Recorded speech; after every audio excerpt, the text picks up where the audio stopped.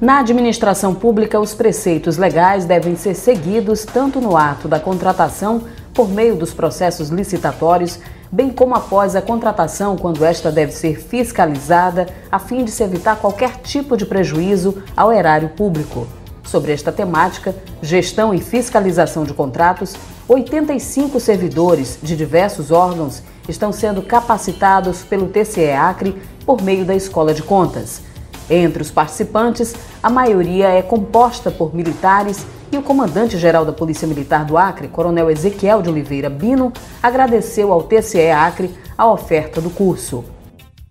Vim aqui agradecer o Tribunal de Contas, a Escola de Contas, na pessoa do presidente Cristóvão Messias, por essa parceria com a Polícia Militar. A Polícia Militar é, tem recursos a ser administrados e precisa gastar bem.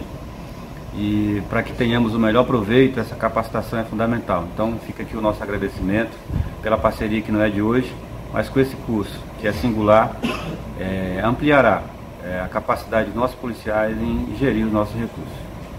A capacitação foi realizada nos dias 10 e 11, das 8 às 12 horas e das 14 às 17 horas, no plenário do tribunal, com o instrutor Amarísio Freitas, que é auditor de controle externo.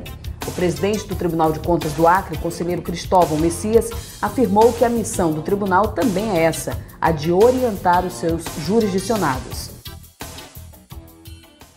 É, o Tribunal de Contas tem desempenhado, através da sua escola de contas, é, cursos de capacitação aos nossos gestores municipais e estaduais.